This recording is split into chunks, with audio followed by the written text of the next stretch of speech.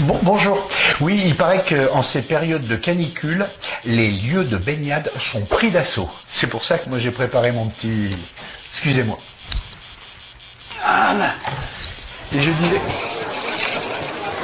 C'est à qui les enfants dans ma bassine là? Monsieur, madame, qui, qui êtes-vous? Ah, Attendez, on rentre pas chez les gens. Ben oui, mais... Oh bah ouais, mais bon, merde